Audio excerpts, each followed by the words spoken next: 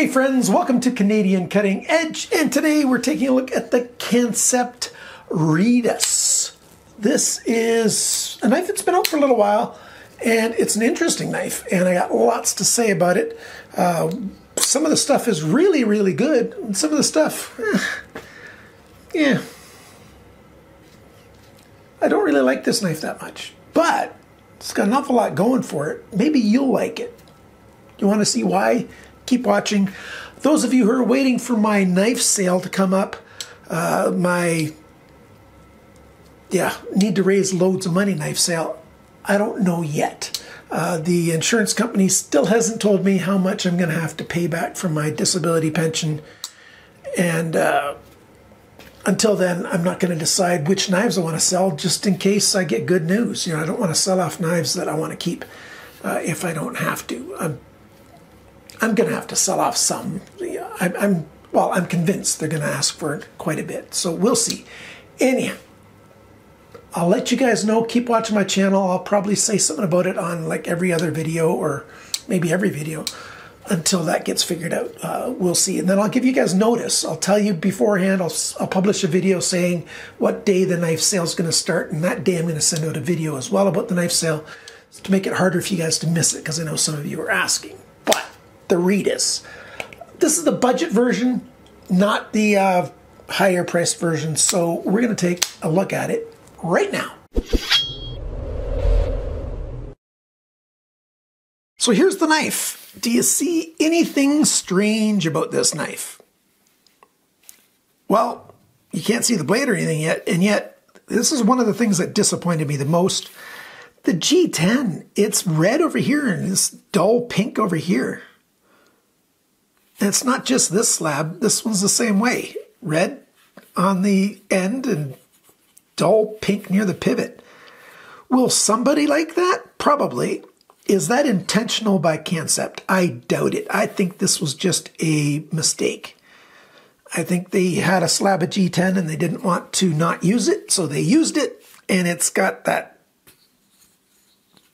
I think it's ugly. I think the color the G10 here is ugly. And the thing is, if I dyed this, it's probably still going to be a different color here than it is here because it started off as a different color. So I'd have to dye it something really, really dark in order to get it to be acceptable, I think.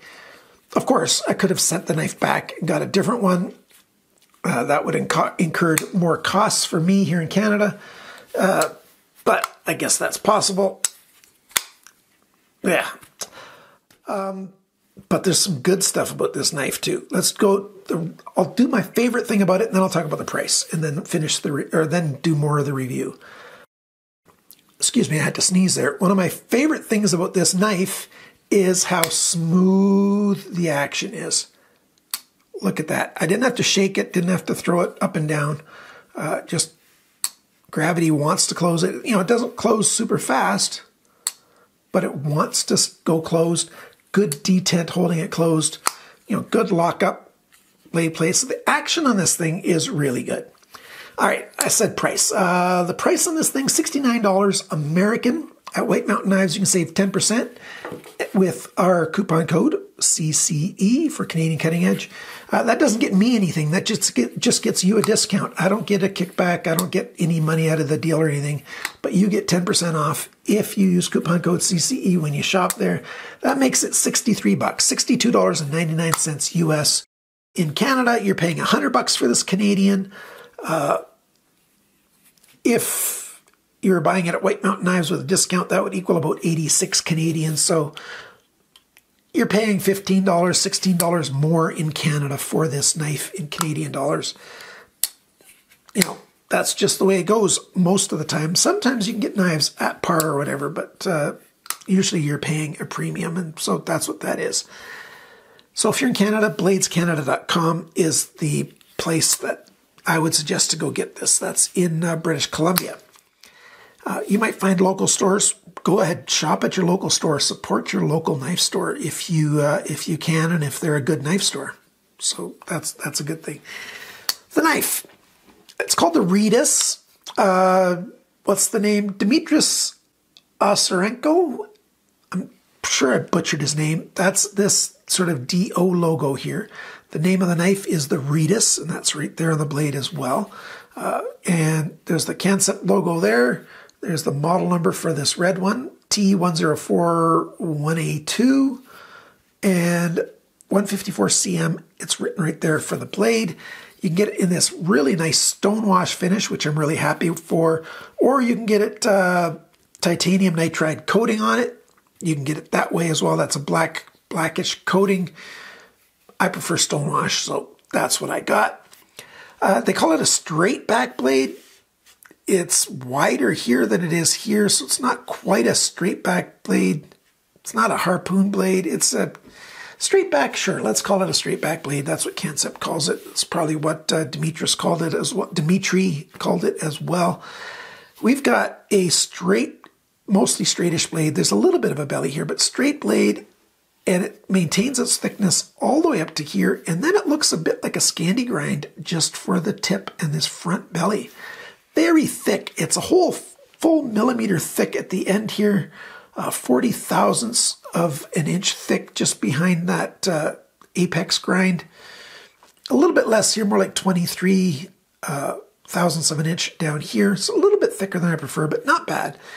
So this might be the only knife that I, not the only, one of the only knives that I would recommend for somebody who is going to do prying with their knife, even if they shouldn't. If you're that person, you know if you are, this kind of knife is decent for that. Now, this isn't a good, you know, puncturing kind of knife. It's okay for slicing and cutting. It's not great for either of those either, maybe because it's a little bit thicker than I'd prefer it to be, but yeah, this belly it's made for getting underneath something and you can't get far underneath it before it starts getting really thick. So it sort of is a prying surface. Yeah. If you want to do a lot of prying, get a pry bar. You can get small ones. You can get six, eight inch ones. You can get shorter, four inch ones, whatever, uh, made out of steel that's proper, some kind of metal that's proper and good for that. Blade steel, I tend not to prefer it for prying because you're going to chip that edge eventually. Maybe not the first time you do it, maybe not the tenth time you do it, maybe not the hundredth time you do it, but you're gonna you're gonna wreck a blade eventually. A lot of guys break the tips off their blades. I've had a number of blades in, you know, for sharpening uh, when I was running my Canadian cutting edge sharpening business, which I've had to put on hold as well.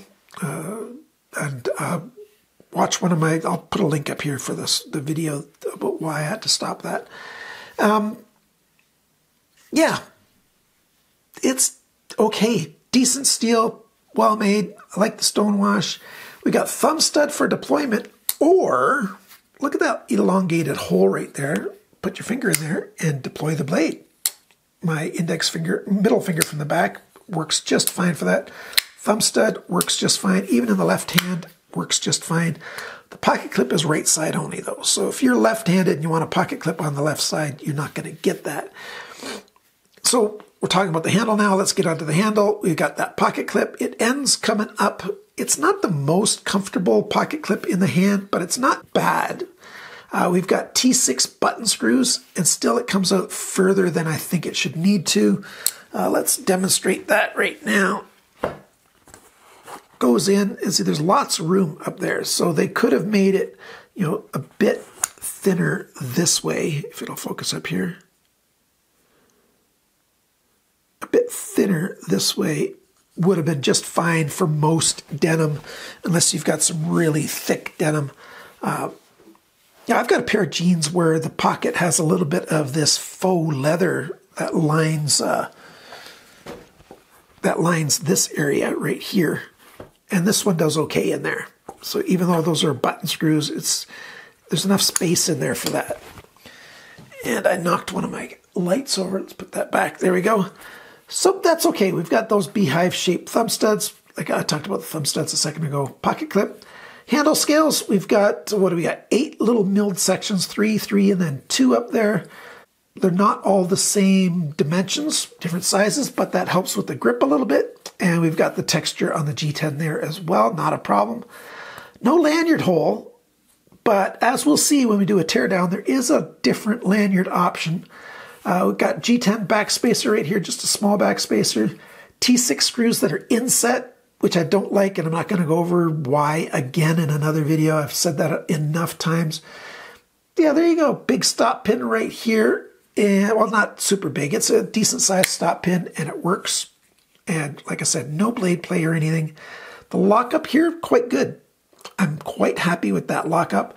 Uh, easy to get your thumb in there to disengage the lock, even though I'm not sure how abrupt that transition is going to be because the battery died on my phone. Uh, but here we go. Let's talk about the lockup. Lockup's good. You can get your hand behind here, even though they've rounded this edge. Get in there, disengage the lock, and start to close the knife. And like I showed, it wants to close. Just really well done. I'm happy with that. Uh, solid. Well done. Handle, comfortable. Not bad. We've got this cool section up here. It's not really a forward choil, but if you usually grip it right where the handle scales are, and it is more comfortable in the left hand than the right. And I've talked about that in other videos because it's wider on the left side than it is on this side. And so just the way your anatomy works, it's more comfortable in left hand. So lefties, yes, there's some good stuff for you in most liner lock knives and frame lock knives. They're just more made to be more comfortable in the left hand. But this section right here, this flat section, full width support, you can get your finger up here and still have your thumb up here. You know, like I, there's no G10, there's no G10, there's no jimping up here, but you can get your hand up there and still get decent. You can even reach forward if you've got your index finger way up there, not comfortably. Maybe if your hands are a little bit bigger than mine, mine are just barely in the extra large range. That's not comfortable. That was okay. I would have liked some jimping. Not a big deal decent, decent. Uh, before I talk about all the dimensions, weights, and all that stuff, let's tear this thing apart. Okay, so I've taken it all apart. You can see there's lots of skeletonizing on this knife. Uh, the liners are well made. We got a stop pin right here, and the stop pin is just a replacement for one of these. So if you strip out these screws, well, you'll strip out the screw, but if you damage the threads in the pin, you could swap those around I guess if you wanted to, and uh, they just they they fit each other. Uh, we've got the backspacer here as the backspacer comes off. You've got little shoulders on here, which means, yes, if you are a lanyard person, you can put this knife together and assemble it and it'll be sturdy because it clicks into place right like that. Of course, this goes on top and it can't be squeezed together anymore. So you could tie a lanyard off right there. And I suggest that pin right there, not this one, to tie a lanyard off so the lanyard can't come around towards the cutting edge as easy. So yeah, if you like like lanyards, there you go. You can do that. Um, the detent ball, nicely well set, good ball. The bearings here, they've got 10 ball bearings in here. The industry standard is still 9 for budget pocket knives, so 10 is better. Uh, decent smooth action. Not sure what material, what kind of plastic that is that the cage, but uh, 10 ceramic ball bearings, really nice. Round pivot pin. Yeah, so you need two screwdrivers, probably, uh, to take it apart. That's probably why uh, Dave had a little bit of a challenge doing this. Not a big deal. The screw heads are still fine, uh, and the screwdriver fits in there quite well. They're not loose and wiggly, at least not bad at all. So there you go. That's how it's made. Uh, these screws here have had a little bit of blue Loctite put on them, but that's just fine. Uh, there's no thread locker on the uh, pivot screw itself, which is good because if there would have been, that might have caused problems, but I think it was probably pretty tight. So there you go. I forgot to take close-up pictures of those parts, so you didn't see that in that part of the video, and I'm not going to do it now. So from the from the teardown, there might not be any close-up pictures. And the measurements. The weight of this knife, 114 grams, 4.02 ounces. So it's a four ounce knife. Not bad for its size. The factory sharpness, I measured it in three or four places, not counting this front edge because that was a little less sharp, but the main cutting area, 210 BESS. Not bad. Uh, most of the knives I review are a little bit sharper than that, but still, this is not dull by any stretch from the factory. The cutting edge length, so a straight line from the heel of the blade to the tip of the blade, that is 90.5 millimeters, 3.56 inches. But if you measure it from the tip of the blade to the closest spot on the G10, that's 88.8 millimeters, 3.49 inches. So, depending on how they measure in your jurisdiction, it's under a three and a half inch blade. The uh, blade thickness, so up here on the flat section, 3.43 millimeters. That's 0.135 of an inch. 0.125 is an eighth of an inch, so yeah, it's thicker than an eighth of an inch.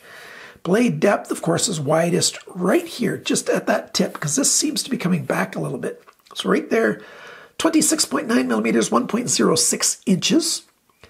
The thickness of the edge behind the grind in this main area here off the main bevel, 0.59 millimeters, 23 thousandths of an inch thin or thick.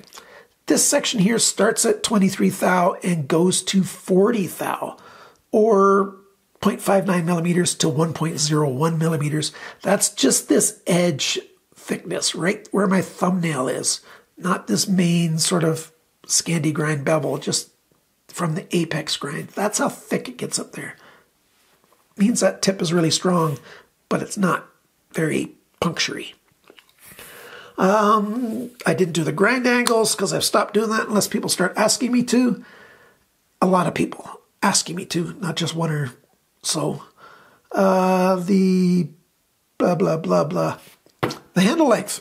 The handle length uh, measured, you know, if that being a straight back, the length that way, 112.9 millimeters, 4.44 inches. The grip area, 10 centimeters, 4 inches roughly. So that's not bad. The thickness of the G10 surface, so the screws stick out a little bit here, and of course with the pocket clip and things, but on the G10, 12.68 millimeters, 0.499 of an inch, so half an inch almost exactly thick this way. Uh, the handle depth this way, uh, the widest point is, is I'm, I'm measuring it straight like this, so when you get to here, it starts coming down again. The widest point was right there, 25.4 millimeters, one inch, again, right on the nose. And when the knife is closed, the widest point is up here, 28.8 millimeters, 1.13 inches, and the total length of this thing from tip to end, 202 millimeters, 7.95 inches. So just under 8 inches. Yeah. What do I think of this knife? I wish I liked it more. I really wish I liked it more. It has its uses, but I'm just it's not for me. I don't pry things with my knives, so I don't need a knife that's got that sort of super, super, super strong tip, uh, which you have to be thick to be super, super strong. I just don't use a knife that way. Some people might, and if you do, maybe this is the right knife for you. Uh, things I don't like other than that, it's basically, you know, the T6 screws. I don't like T6 screws, especially button screws that are recessed. Just don't like that. And this G10 being red here and pink there, it's just ugly. In my books, it's just ugly. Now, did they intend that? No. So yours probably won't have that problem if you buy a red one. Um, and if it does and you don't like it, send it back. Uh, if it was all this red, which it looks like in the pictures they are, on that just a little mark from a pen. I just got it dirty. I'll clean that off afterwards. It's it's a decent handle. I just don't like the fact that this is pink at the pivot and red at the end. Why is that? In hand comfort, it's okay. Nothing special, nothing terrible. It's just in that middle range of good.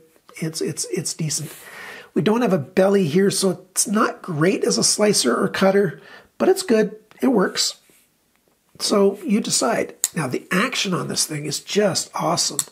If every knife that I bought had such good action, I would be one spoiled camper, that's for sure. It's better than the it's in the top 5% of knives that I've reviewed. I've reviewed way over a thousand knives, and it's in that top 5%, maybe even higher than that in terms of how smooth that action is and there's no grinding, no grit, there's no yeah going on at all. It's just beautiful. The tension on the pivot bar is just perfect. The lock bar, I mean, the, with the pivot on there, and it's just smooth and nice straight out of the box. Very happy with that. I did find a couple times with the heel sticking out, well, it doesn't really stick out, but with the heel right there and using it forward like this, I did do a tiny little cuts on my finger on both my right and left hand when I used it because I tend to pull forward a little bit like that and poke myself with that sharp edge. So there's that. And I didn't mention that before. I probably should have. But it's pretty decent. And if you like lanyards, just get rid of the backspacer and then you can tie a lanyard off that one and that would be just fine.